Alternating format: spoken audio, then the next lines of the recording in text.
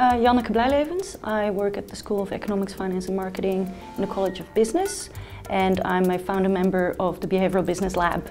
I'm Jo Peryman, I'm the chair of the RMIT Behavioural Business Lab and I'm a behavioural economist who specialises in bringing psychology into economic behaviour. Sans Forgetica is a font that has been designed to be unique and different to aid memory retention.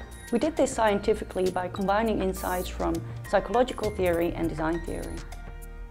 Sans Forgetica works by a learning principle called desirable difficulty, which is where an obstruction is added to the learning process in order to promote deeper cognitive processing, which results in better memory retention. So typical fonts are very familiar, so we glance over them and no memory trace is created. On the other hand, if a font is too different, then uh, our brain can't process it and no memory trace is created either.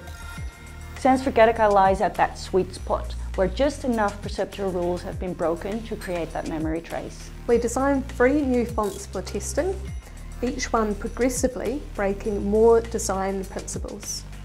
We had over 100 students come to the lab to participate in a memory test presented in different fonts to test which of the fonts led to the best memory retention.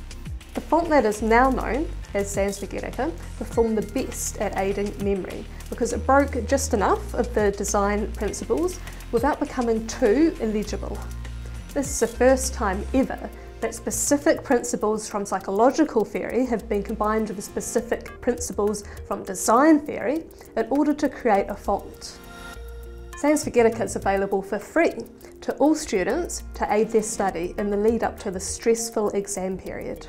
What excites me about this project is that it brings together many different disciplines to create something new and something that's helpful to people.